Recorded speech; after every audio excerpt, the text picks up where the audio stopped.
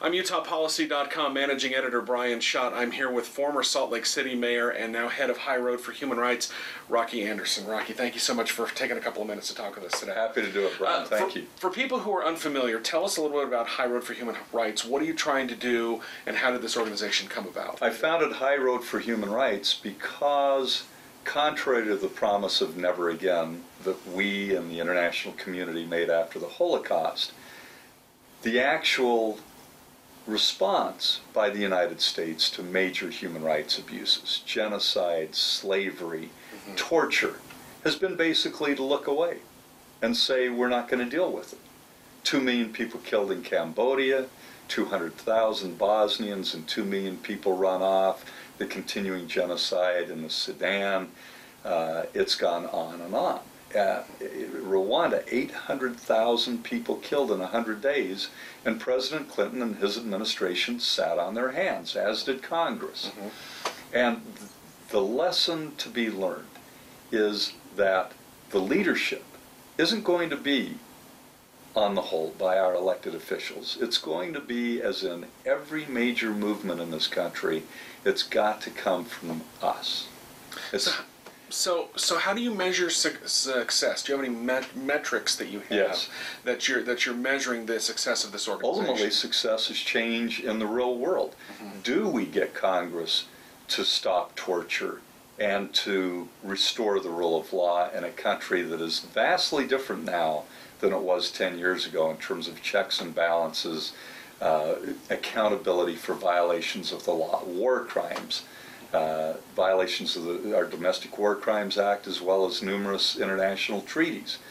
Uh, have we made changes in U.S. policies that positively impacts slavery in this world, both labor and sex slavery. There are now more slaves in the world than ever in human history.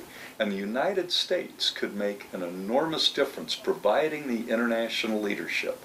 We could have done it in every one of these instances. Uh, if, if the Clinton administration had gone to the United Nations and said, we need to stop what's going on in, in Rwanda in 1994, that genocide would have been over. So, what the Clinton administration was looking for, and his national security advisor, Anthony Lake, made it very clear. He said, We need to hear from you. We need to hear from the public. You all need to make more noise if we're going to take any action to stop the genocide. And sadly, tragically, the American public remained quiet. There was no group that was organized to pull together people at the grassroots so that we were all pushing and letting people in Congress and the White House know that we expected them to take action. So that's how this organization is vastly different from any other human rights organization. We get people to come together on a monthly basis. We provide educational materials to raise consciousness, which is the first step. And then, secondly, to provide tools to High Road members for them to take the kinds of actions that, in coordination with others around the country, will make the difference. But one could argue, just to play the devil's advocate, that not much has changed since the Bush administration with their uh, the, uh, the the memos allowing torture. The Obama administration really hasn't done much to change that. We still have detainees down at Git, Git Gitmo. I mean, these these things are not changing. These these these policies are are still being per- perpetuated. That's right. And it's not going to happen overnight, but I can tell you, High Road for Human Rights has taken a principled stand. We've been as critical of the Obama administration as we were the Bush administration. And in fact, what we've seen during the Obama administration is, in many instances, an institutionalization mm-hmm. of the kinds of abuses that we just thought, most of us thought were just aberrations during a weird period during the Bush administration. But when, when you have the executive branch going into the courts and asserting the state secrets doctrine, so you knock the courts out as a check on abuses of power by the executive branch, that's a frightening thing. That's no longer a republic, that's a tyranny.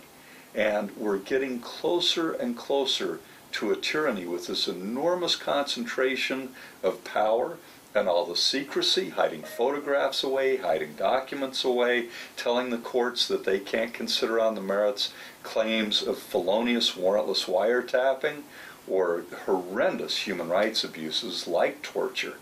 And the Obama administration, like the Bush administration, has been going into the courts and getting these cases dismissed on the basis of the state secrets doctrine. Let me ask you this. Former President Bush recently came to Salt Lake City for a book signing at Costco. You organized a protest. If President Obama came to Salt Lake City, would you organize a protest there? Absolutely. Absolutely. In fact, we have made very clear to the Obama administration and to Congress that we expect them to uphold the rule of law, that we expect them to uphold our most fundamental constitutional values and to restore much of which has been lost, including our system of checks and balances. The country I grew up in, we had courts that served as a check. They would apply the law, and if anybody violated the law at any place in our country, at any level, they would be held accountable.